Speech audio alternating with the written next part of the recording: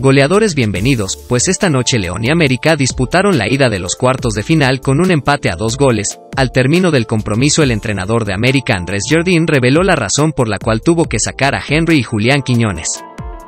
Sí, sí, sí, los, tres, tanto Diego como, como Henry como Julián, este tiempo sin, sin jugar 90 minutos te cuesta un poco, entonces ya, ya vi un Diego no tan fresco en el, en el segundo tiempo y teniendo la banca que tenemos hay que muchas veces dar tiempo a, a, a los que entran también para se, se, ambientar con el juego y tener tiempo para, para conseguir al final hacer alguna diferencia.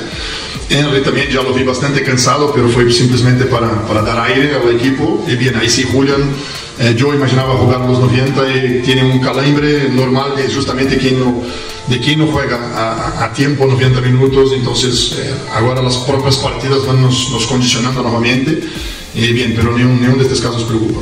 En otras noticias, el entrenador de León Nicolás Larcamón habló sobre el rumor que circula, el cual menciona que Larcamón está peleado con algunos de sus jugadores más importantes. Sobre esto el argentino mencionó lo siguiente. Y sinceramente me sorprendió, te, te soy sincero, me sorprendió mucho el, el, el, la noticia y todo lo, estos vericuetos que estoy peleado con tal, con el otro, con Cota, con, con Jesús.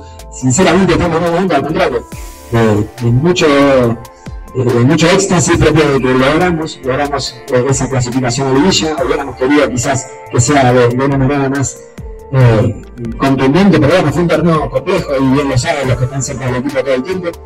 Hoy estamos veía los chicos al inicio del partido con la camiseta que en 15 días van a vestir en un mundial de clubes eh, muchos chicos de acá no tienen uno, no tienen dos, no tienen varios años en el club y han soñado muchísimo con, con, con marcarse a, una cita mundialista con los colores de, esta institución. Y hoy estamos, hoy estamos, estamos muy orgullosos, estamos muy contentos, todo el tiempo siendo conscientes de que hay ese margen de mejora para atacar, pero realmente lo que son las, las, relaciones humanas a nivel interno están en un momento espectacular.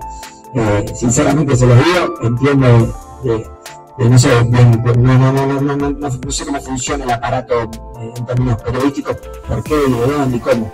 Pero lo respeto, sí que eh, de primera mano le puedo decir que no hay ninguna, ninguna eh, cuestión eh, interna de, por último, diversos medios deportivos destacaron dos acciones polémicas en el partido. La primera tiene que ver con el gol de Henry Martin, el cual para muchos es fuera de lugar, aunque las tomas con vectores lo colocan como un gol válido.